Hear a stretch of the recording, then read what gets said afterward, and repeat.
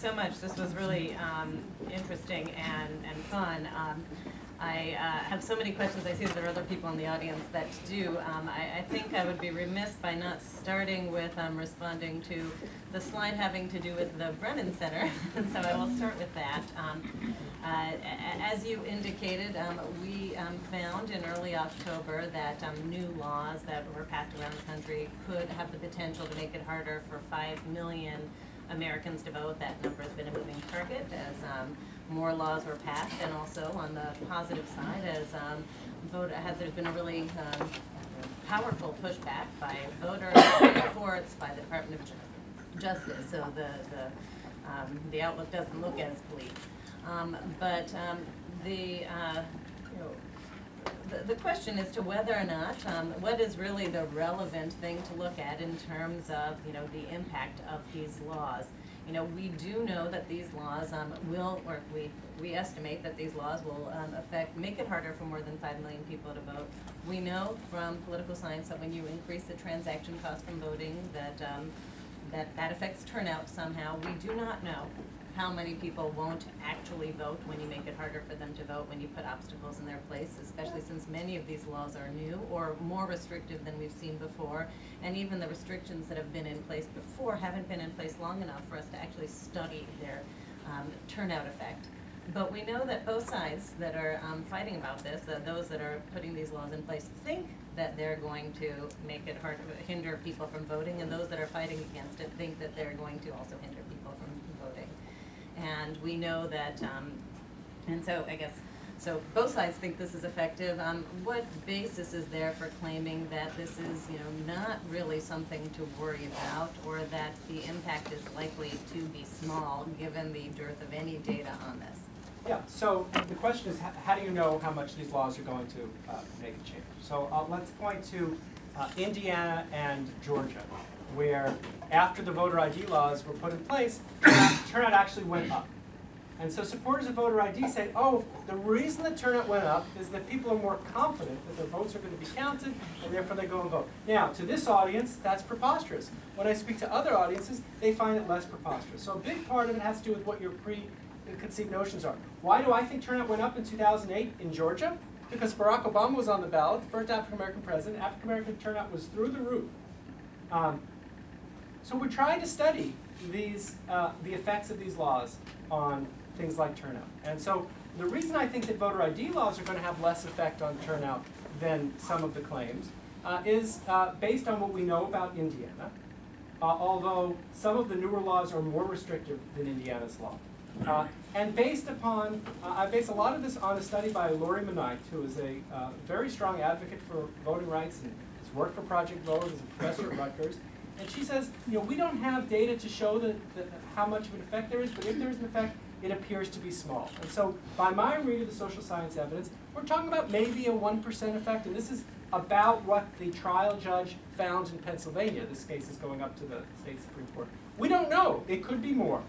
But the fact that it's hard to find voters who are actually impacted by these laws and can't find a way around them makes me think that the, the effect is not as great. And when it comes to early voting, uh, I think we're certainly going to see in Florida a decline in the number of people who, uh, who vote.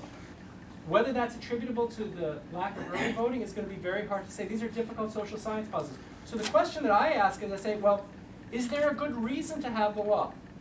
Right? So, is there a good reason to not have uh, early voting on the last three days before the election? So I don't think there is a good reason other than you're trying to save money, but that doesn't seem to be what the reason is.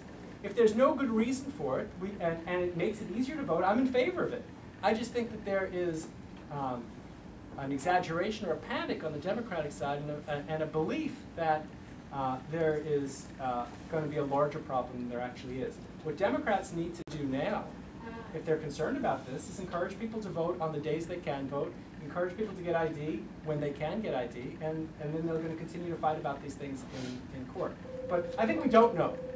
And, and I think the, I would also say something like the Texas law, which required people to go up to 250 miles round trip to get an ID, and which didn't accept student IDs, could have a much larger effect than the earlier laws as in Georgia or in Indiana.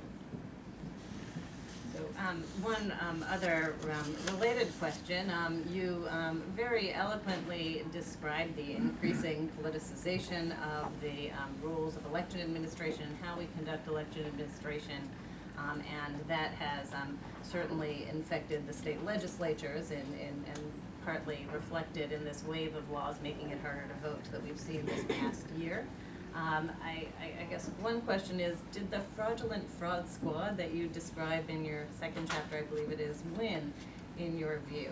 Have they, if their goal of their effort was to try and persuade people that there is a problem where there wasn't one of fraud, and in order to try to, as, as you suggest, push measures that make it harder to vote, like voter ID, like laws that cut back on voter registration, and the fact that now we've seen a huge wave of that direction this year, and it doesn't look like it's going to be abating in the future.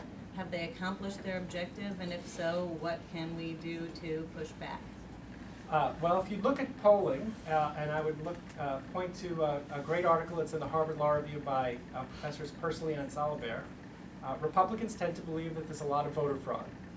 Democrats tend to believe there's a lot of voter suppression.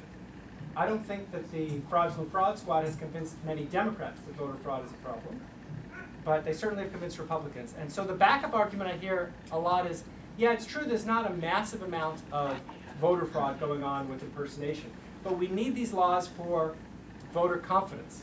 Well, this Persily and Ansolabehere study shows that the public's confidence in the fairness of the election process is not at all tied with whether or not the state has a voter ID law. So uh, I think it's a fig leaf. Uh, but I do think that it's entered into the uh, Republican mindset in much the same way that in the Democratic mindset, the concerns about voter suppression have uh, emerged. So I do think they have been successful in that way. So a development that occurred after I finished the manuscript of my book is that many of the most recent uh, voter ID laws were pushed by ALEC, which is a pro-business group, controversial, have a number of uh, companies now pulling out from uh, their support of this group. But this was seen as, I think you're right, that both Democrats and Republicans see this as a means of at least moderately suppressing the Democratic vote. I think that that's, uh, whether it's going to have that effect, we don't know, but I think that that's the intention. And the fact that ALEC was pushing this, I think, is some evidence that it was seen as a way to get more Republicans into office. I I have some more questions, but I, I want to make sure that other people can start by asking questions, so why don't we open it up to the room and come back? Do do you want to the microphone? Yeah, are- are you picking, Uh, Sure. selecting? uh, Uh, just, uh, sorry. It's being recorded, so. Should be on. Uh, I just wanted to ask a little follow-up to what, uh, what you just said, what uh, you just said. If, um, if the actual effects of these uh, voter ID laws is, is fairly negligible, uh, then why, why, why do you think the Republican Party is pursuing so many of them? I'm, I'm, I'm assuming that a lot, that, you know, the guys, you know, the people who are at the top of this, you know, have the data that you have, they know that it's not, that it- ultimately it's not gonna affect a ton of votes. Um, so why, why the, why the big push for so many voting laws in these states? Yeah, I suppose first I disagree with the idea that one percent is negligible. We've had too many elections recently decided by one percent. So first of all, in a close election, it could be determinative. That's a big deal in and of itself. So if Pennsylvania were more competitive, right now, it looks like Romney campaign is abandoning Pennsylvania. But if Pennsylvania were more competitive, I would be very concerned about Pennsylvania's voter ID law, especially in this election, because from what I can tell, I wasn't at the trial, but from what I can tell of the evidence, uh, it looks like Pennsylvania's gonna have a lot of trouble implementing its law, getting IDs into people's hands in time. So I'm very concerned that we have an even larger effect in, uh, in Pennsylvania in the short term. But aside from the, um, the effect in close elections, where one percent could be the difference between one candidate or another winning, I do believe it has these other two effects. One is as a wedge issue. Talking about Democrats stealing elections fits in with a broader theme of uh, urban, minority, union, Chicago, like you take all the adjectives, it's about stealing elections. And that fires up the base and delegitimizes the Democratic Party. And so I think it feeds the base. And it also is useful for fundraising. And so I think those are the other motivations for it. That email from the uh, from uh, Patrick Rogers to David Iglesias, where he talks about it as a great wedge issue uh, to indict an ACORN worker, I think that's what that's all about. I don't need it unless you think. Okay, so speak loud. Um, I'm just curious, I saw a stipulation in the Pennsylvania case, and I don't remember the exact parties, but I think it was the Attorney General, and they basically stipulated that they didn't believe there was any voter fraud. And so why isn't that played up a little bit more when we start to hear this discourse? Well, so the, the state stipulated for purposes of trial that it knew of no impersonation fraud in the state, and it didn't expect any uh, in, in there. To me, that should be enough to say that the, the law should be, put- even though I support a national uh, voter ID, which would be coupled with universal voter registration, supported by the government ID, I should tell you, that has united Democrats and Republicans. They all hate it. Uh, I, I oppose state voter IDs because even though the effects are relatively small, they're being put in place for no good reason, and they're gonna disenfranchise at least a small number of voters. And so you think that would be enough. What this, what the trial judge said was, it's true there's no evidence of this, but the state, under a pretty low level of scrutiny, which we apply to garden variety election rules as to how you're gonna run the election, uh, the state doesn't have to prove any fraud uh, to justify the law. It's enough that the state wants to do it to preserve voter confidence. Never mind that studies show that it doesn't improve voter confidence.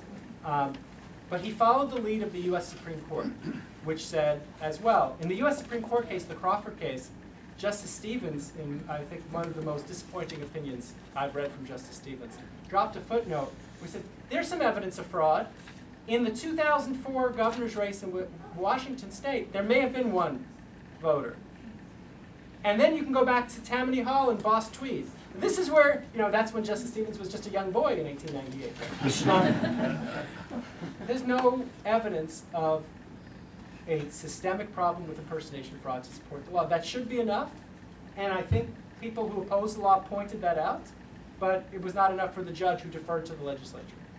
We'll see what the state Supreme Court does when it gets the case later this week.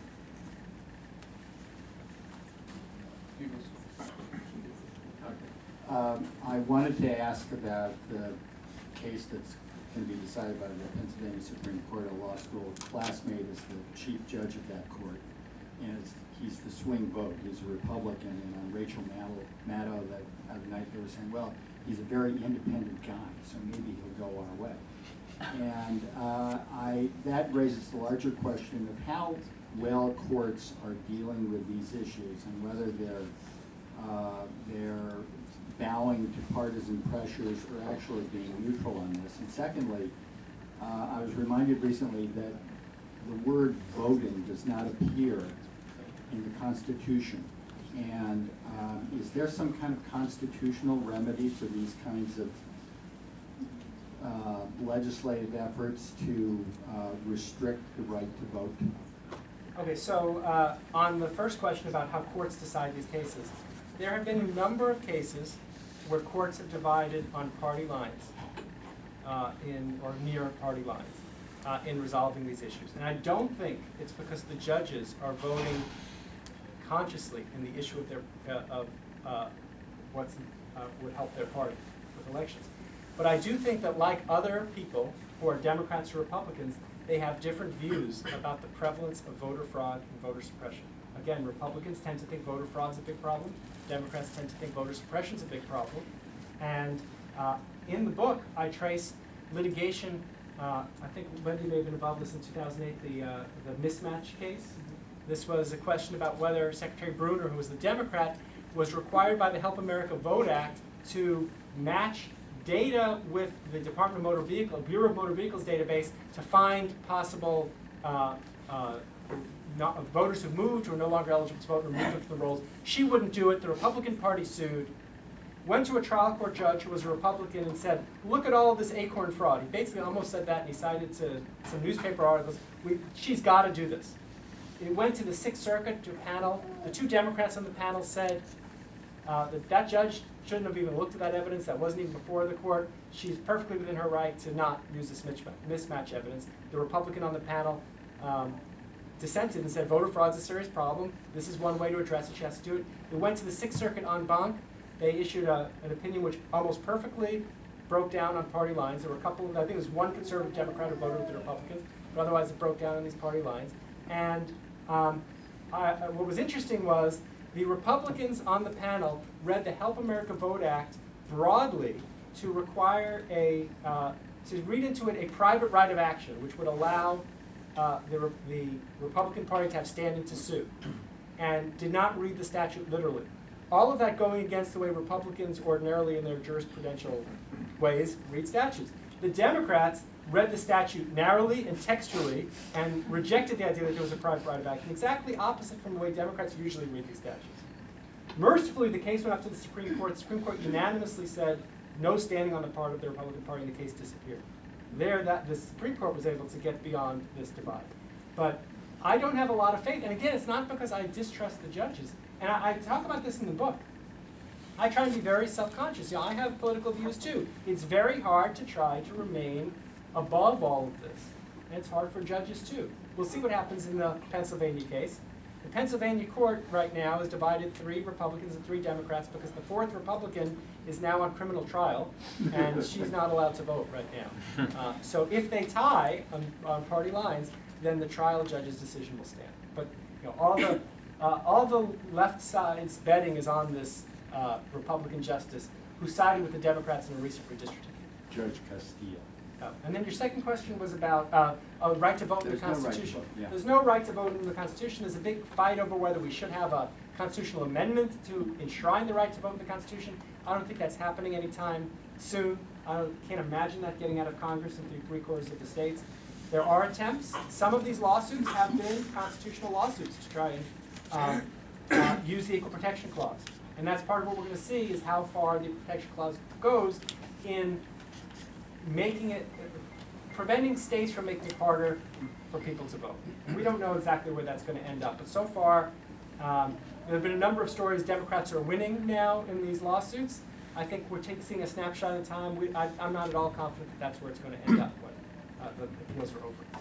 I just wanted to add that there is some, uh, uh, some slight, at least turning of the tide in terms of where the judges are falling in these cases. And there was a decision in the Ninth Circuit, um, sitting en banc, um, uh, overturning uh, a law that wasn't passed this year, it was passed a couple of years ago that required proof of citizenship to register to vote.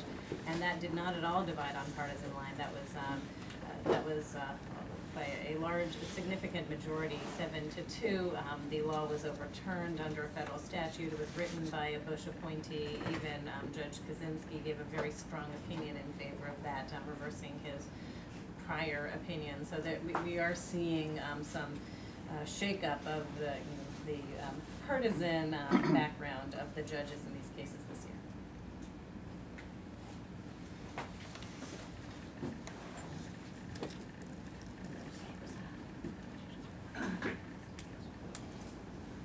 I just wanted to hear your take on the possible rehabilitation of the Bush v. Gore equal protection standard in the upcoming Sixth Circuit cases. So, uh, if you remember Bush versus Gore, and some of you are too young to remember, and some of you probably already forgot, but uh, the way that the case ended was that the Supreme Court said that uh, the Equal Protection Clause, uh, first the court said that the Constitution doesn't guarantee a right to vote for president, but that once, the, because the state legislatures are given plenary power to decide how electors are chosen. You may remember in Florida, the Florida legislature was thinking, you know, maybe we're going to pick our own slate of electors, and then were going to be competing slates of electors.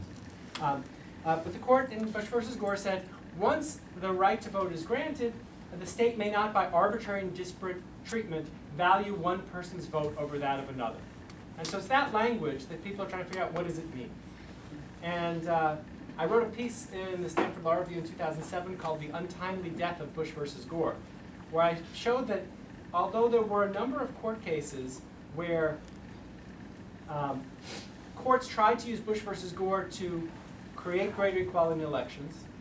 For example, is it constitutional to use punch card machines that lose eight or nine or ten percent of the votes in some parts of the state but not another for an election? There were some some courts that initially said that was unconstitutional.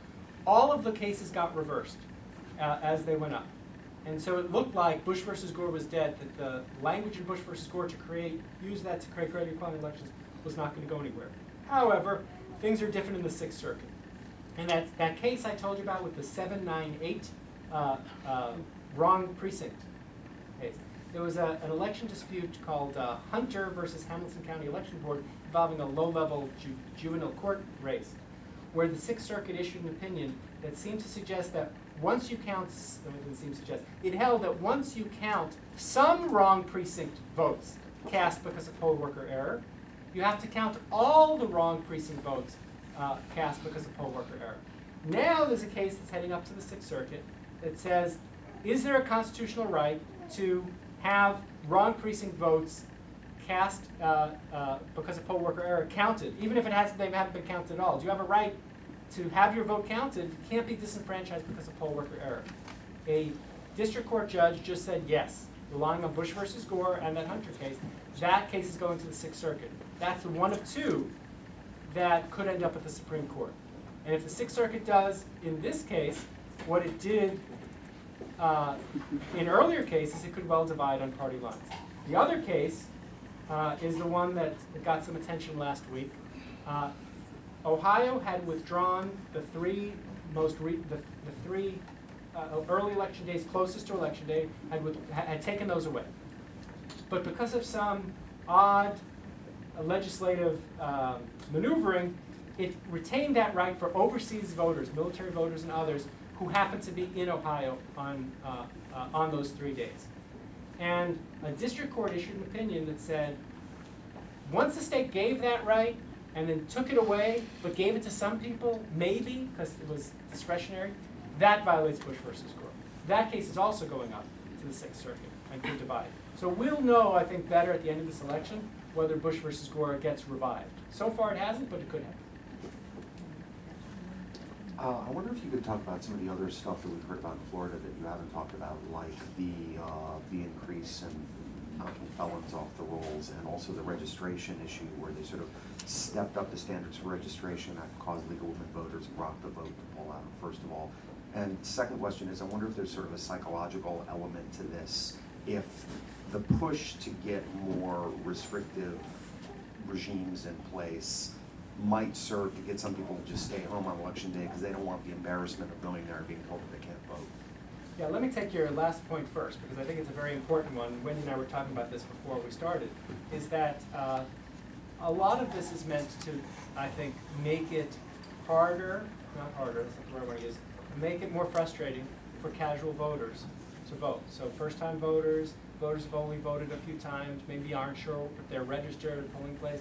Anything that makes it harder for those voters who don't have a habit or pattern of voting, they hear about all of these problems at the polls. Maybe they're gonna be poll watchers. This is the big issue now with True the Vote, and whether they're gonna be showing up in uh, Democratic areas and trying to uh, uh, challenge voters. All of that, I think, could have a psychological effect, and that may be the intent of some of the ac- uh, action to try to make it more difficult, or make people think it's gonna be a hassle to vote.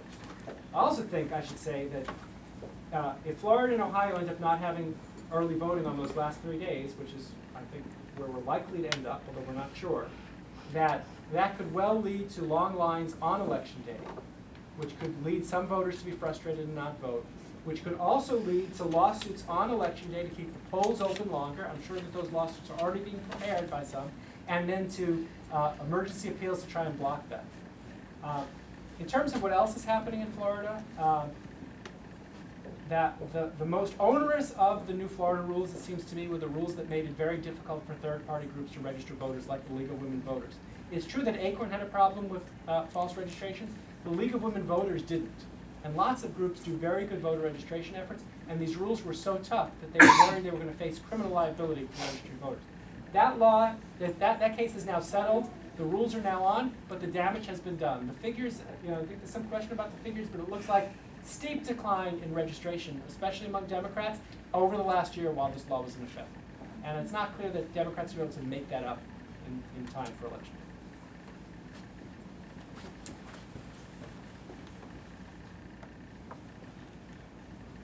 Thank you for your talk. Um, Can you hear me all right? Yes. Okay, Great. Um, The United States is not the only country that has um, elections of this sort. And I was wondering, as we work our way through best practices to apply here, whether in voter suppression or voter um, fraud control situations, uh, what do we learn from um, elections abroad in peer countries with parliamentary democracies that that you can enlighten us? Yeah, this, that's a great question. Uh, I started, this is my first uh, part of my book tour in the United States, but I gave this talk in uh, London in the House of Lords to a group of election uh, reformers and people who care about election administration. And boy, did I make them feel good about their election. we thought we had problems. Wait, she's the Secretary of State and she's the head of the Bush campaign. They don't know odd and even. It's different ballots, and they, they couldn't believe it. They couldn't believe that this is how we run. You know, this is you know one of the world's great democracies, and we can't uh, accurately count our votes or know how many people should be registered. You know, it's completely illogical. Uh, in 2004, I went to uh, Australia and I met with uh, Australian election officials. They have a system of nonpartisan national election administration. You walk into any polling place in the country, the ballot format's the same, the professional workers know what to do, the voter registration rolls are national. If you move, your registration form moves with you. And if you fill out a change of address card, your registration moves with you. We don't have to have people. There, there are logical places and problems of voter confidence in the system. Voter confidence is high. Voter fraud is not a major issue. There was an issue in the UK a few years ago involving absentee, or postal voting as they call it. Absentee balloting is the biggest problem with fraud anywhere, uh, because, uh, aside from election officials committing fraud, because the ballots are out of the control of election officials. But there's a lot that we can learn from uh, other countries. The problem is one of path dependence. We have been historically uh, a system since the colonies where we've administered our elections on the local level. I talked about the U.S. Election Assistance Commission, which was created by Congress It's part of the Help America Vote Act. The National Association of Secretaries of State, which is the, the chief election officers, partisan election officials elected in, I think, 33 states, they came out with a resolution calling for the EAC to be disbanded.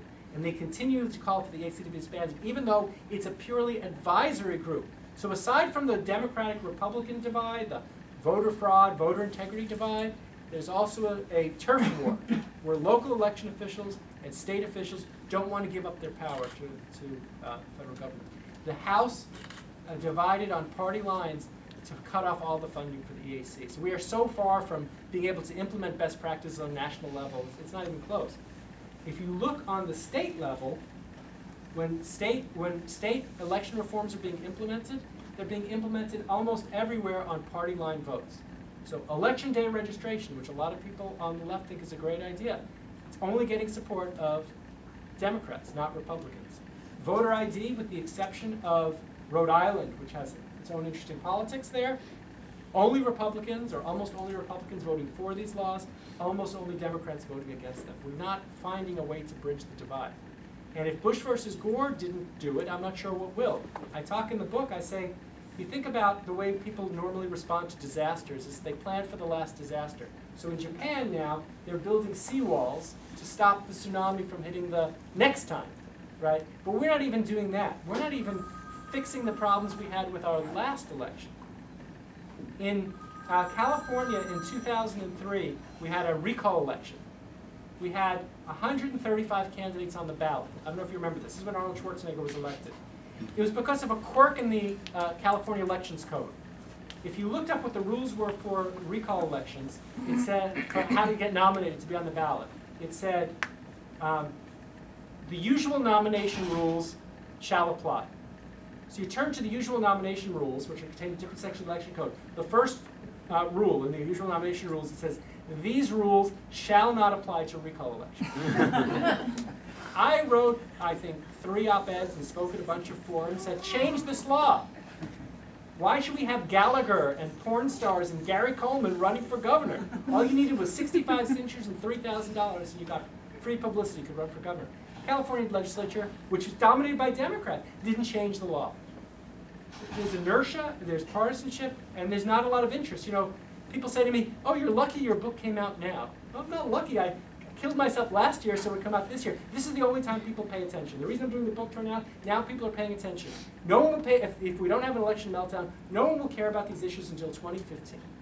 And by then it'll be too late, and we'll be talking about the new voter purge that's starting in Florida, and, and the cycle will continue. So, you know, I, am the book is uh, very pessimistic. There was a, a, review of the book. Kirkus Review said something like, an astute but not terribly uplifting. yeah, that's about right. Do you worry that the the press covers these issues too much on the one hand and on the other hand, without getting at what's the stronger hand. And if you're worried about that, I was struck about how you're, you're fair, very fair in looking at these things, but sometimes you can be heard as saying, oh, it's only one percent, whereas other times you're saying one percent is too damn many. And sometimes you can be heard as not saying, but there isn't a good reason. So it's a double barrel question. Are you worried about the press? And how do you, as a academic, um, resolve to handle your own comments if you're worried about that? That's a great question. That's something I constantly struggle with. Uh, what I say in the preface of the book is that Democrats, uh, Republicans are more to blame than Democrats, but Democrats are not blameless. So as I so 75, 80% of the problems here are caused by Republicans, 20% by Democrats. I'm not going to impose a false even-handedness on the truth, but I do think that there is exaggeration on the Democratic side. Uh, and that's a subtle message. That's not a message you can get across in a 10-second interview. Um, and you know, so sometimes it depends on what I'm asked. So if the question is, you know, are millions of voters going to be disenfranchised? I say probably not. The question is, is there any good reason to have the state voter ID law, and is it going to uh, disenfranchise some voters? The answer is yes. But you know, it's hard to in this environment. It's hard to speak of subtlety.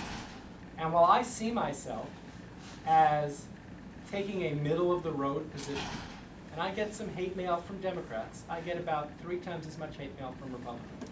Go to um, the Republican National Lawyers Association blog, and you'll see I'm and other there are other blogs. I'm routinely attacked as a shill for the Democratic Party.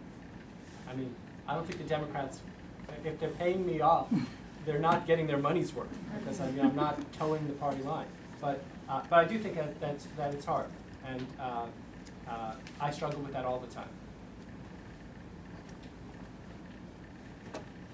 I had a, I have a question about legislative deference. Um, you mentioned that, um, a lot of times, the- in the court cases surrounding voter ID, uh, there's been a lot of legislative deference. And I wanna contrast that to the campaign finance cases where just this past week in the Eighth Circuit, there was very little legislative deference, um, over disclosure thresholds. Um, and how do, how do courts square the different standard for campaign finance versus voter ID? And is this an example where we can make uh, lemonade out of lemons uh, and ask for more legislative deference in the campaign finance context? Well, it's interesting you make that contrast, but some are, sometimes I hear this argument when I say there's no good evidence that uh, uh, voter ID laws help promote voter confidence. People will say but you support campaign finance reform and there's uh, the appearance of corruption standard, there's no good evidence that uh, campaign finance laws um, prevent the appearance of corruption. I actually think there's a good, that, that's a pretty good argument. I'm not a big believer in appearance of corruption. I think the court has the wrong definition of corruption. And what we need to ask about is not the appearance of corruption, but the actuality of a conflict of interest that comes when uh, people have to rely on millions of dollars raised uh, and spent privately. Um, but the courts generally have been terrible on evidentiary standards for judging these things. The, when it comes to campaign finance, if it's a campaign contribution limit, at least until recently, it was incredibly easy to uphold any law. Any amount of evidence would do. Justice Souter in the Shrink, Missouri case said, well, there were a couple of newspaper editorials about corruption. That's enough for us. In contrast, when it comes to a spending limit, with one exception, the Austin case, which has now been overruled, the courts never found enough evidence. And Justice uh, Kennedy unbelievably says in Citizens United that independent expenditures cannot corrupt or create the appearance of corruption. Great social science that it can have such certainty. Um, in the voter ID case in Pennsylvania, the judge says there's no evidence that this prevents fraud, but the Supreme Court tells us we don't need any evidence. So, what the courts seem to do about evidence, and this is true of both liberal and conservative judges, is they seem to reach a value judgment as to what the big threat is the First Amendment threat, or the threat to our democratic elections, as Justice Breyer put it.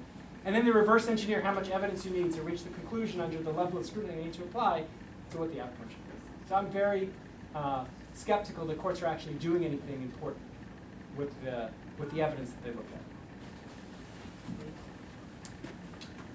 You mentioned that uh, Democrats and Republicans are united against automated voter registration and a national voter ID, but I'm wondering if you just take the first part. Modernization is something we work hard at, and um, we know that there have been leaders in modernization who are not totally partisan the way you'd expect. Maricopa County has modernized and seen great fiscal results, and so I guess I'm wondering, do you think we're naive about the possibility for this, uh, for modernization, especially because I think it has the added benefit of taking the wind out of a lot of these purge lawsuits that you spoke of?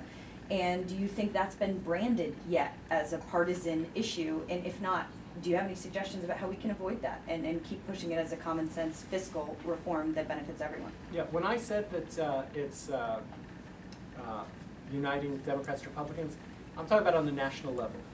I think on the state and local level, especially in states that have professional election administration, there is the possibility to improve things, and it creates less room for litigation when there, you know, fewer problems with the voting rolls. You don't have True the Vote suing to clean up the rolls, you don't have other groups suing to make it easier to register voters, because it already is easy. You can have online registration.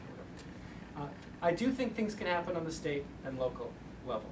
What I think can't happen is uh, to get anything out of Congress. So I know, I know you know, that uh, uh, Senator Schumer looked like he was going to push this issue, and then all of a sudden it was gone. And I think it was gone because it was not going to get, forget bipartisan support, it was not going to get Ben Nelson support, so it disappeared.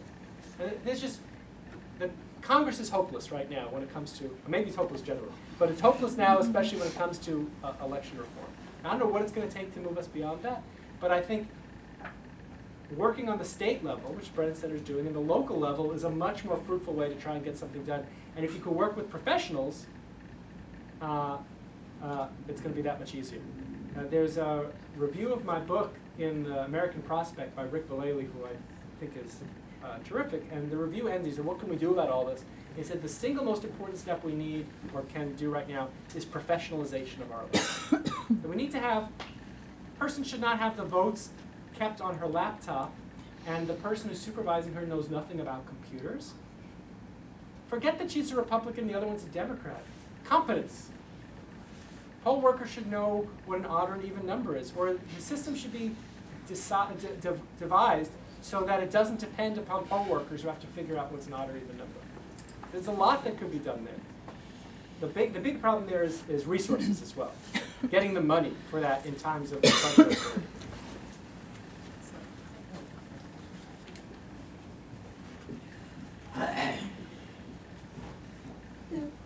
wasn't, okay, it wasn't a major case, but I know of a woman who came to the polls and her name was just gone. And New York, this was in New York, and we already had provisional ballots, and the worker knew nothing about it. And just said, you couldn't register, you can't vote, and, um, my friend didn't know enough to claim. It just seems like part of the problem is you have these workers that work one day a year, or two days a year or something, and they just like the odd and even numbers, they just don't know what they're doing. I don't even know what we could You know, if you think about elections, there's really nothing else like this, where you have this massive undertaking that has to all happen on one day during this period, where you're using temporary workers and you gotta get everything right. It's very hard to do, which is one of the reasons I really like early in-person voting. Because first of all, it gives poll workers practice, and second, it alleviates the burdens on election day. So even putting aside, you know, any of the partisanship of any of it, early voting helps in a lot of ways. Uh, you know, there's a group called Why Tuesday that's trying to get rid of the Tuesday voting. Well, if we move to early voting, we don't need to worry that Tuesday's election day because people have lots of opportunities. I think that's a reform that a lot of people should get around, but even that has now gotten caught up in the partisan fights over election rules. I, I, there's just a few more minutes, so we'll have time for one more question from the audience and then one from me.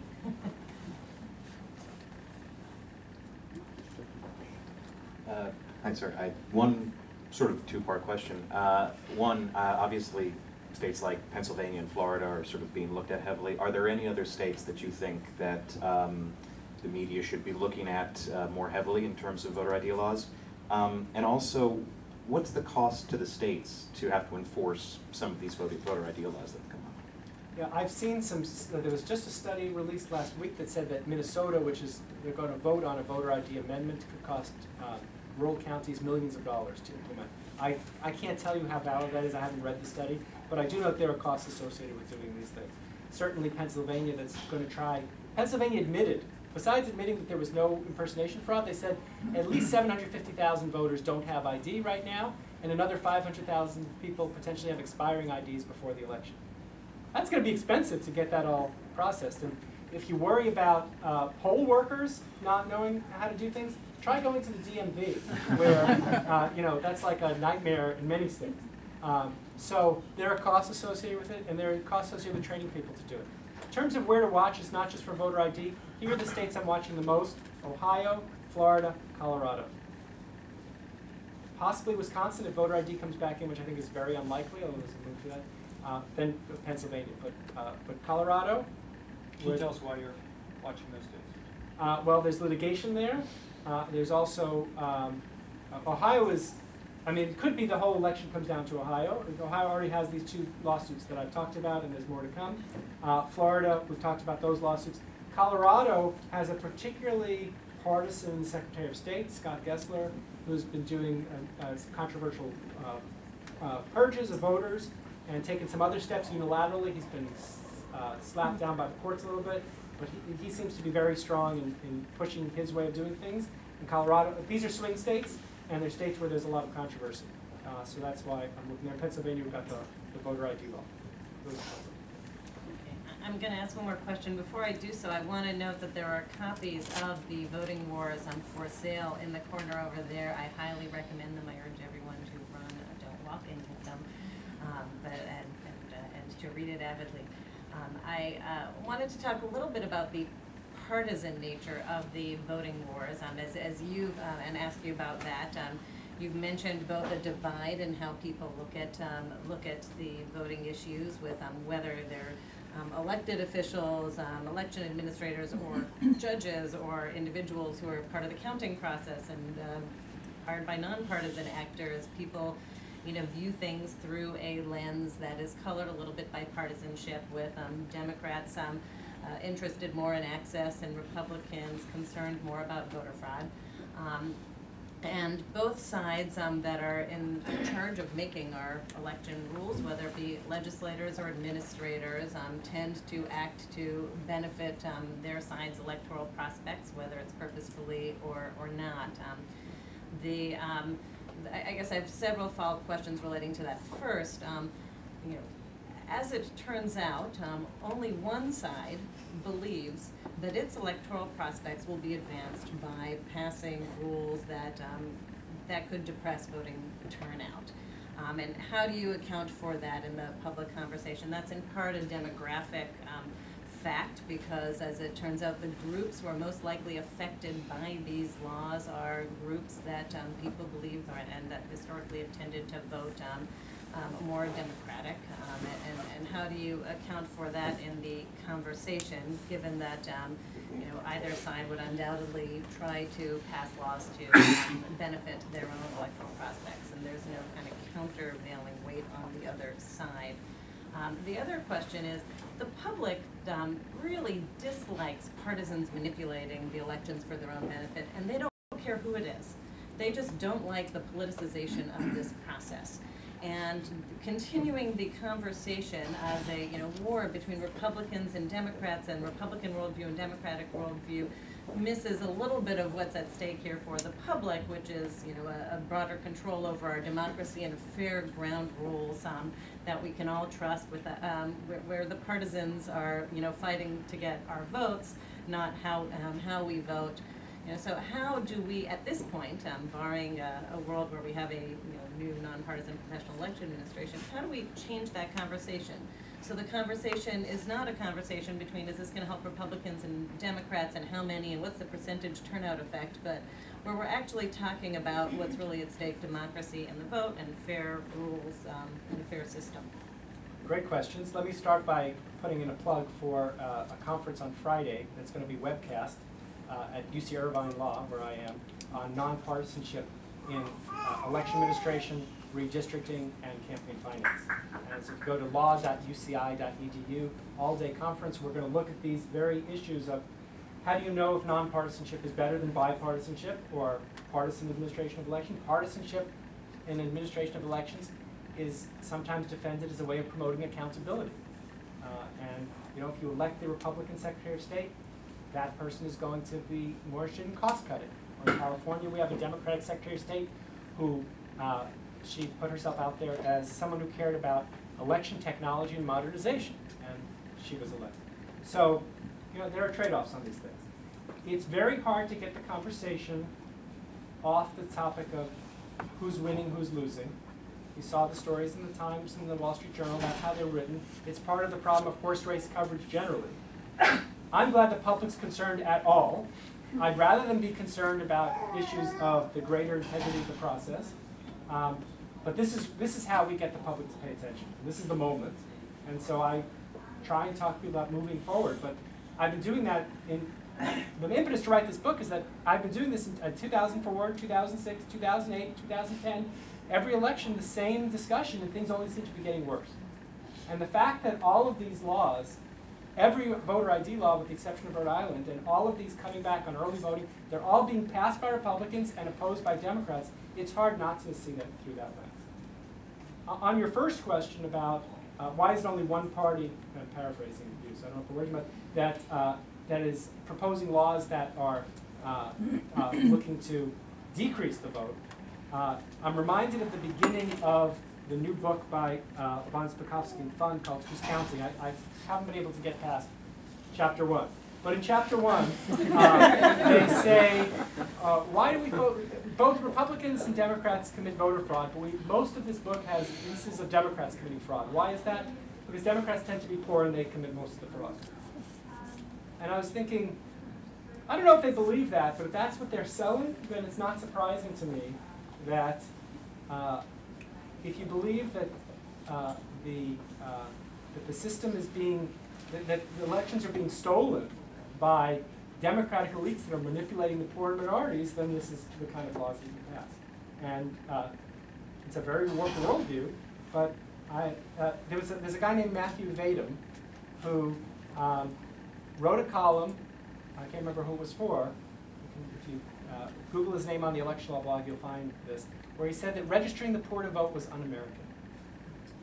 Because the poor are going to vote for, in their self-interest, as opposed to everybody else. and they're going to support a larger welfare state. This is un-American. And I think if, if you're starting with that worldview, it's very easy to get to where you're passing laws that are going to shrink the number of poor minority voters who are going to turn out to vote. And it's unfortunate that's the world that we live in today. That's a really positive note. You have a positive note to end on, on where to go forward before we, Uh, I. I look at uh, the electoral college, and it does not look close right now. And from the point of view of the election administrator's prayer, that's a good thing. Um, but keep your eye on the Senate. Uh, uh, uh, yeah, so, so the chances of an election meltdown are still quite small. Uh, not because we've done anything to improve things, we haven't, but because uh, the chances of a razor-thin election happening on the presidential scale are still relatively small. So that's a, a tiny bit of. Well, Thank you so much, Rick, for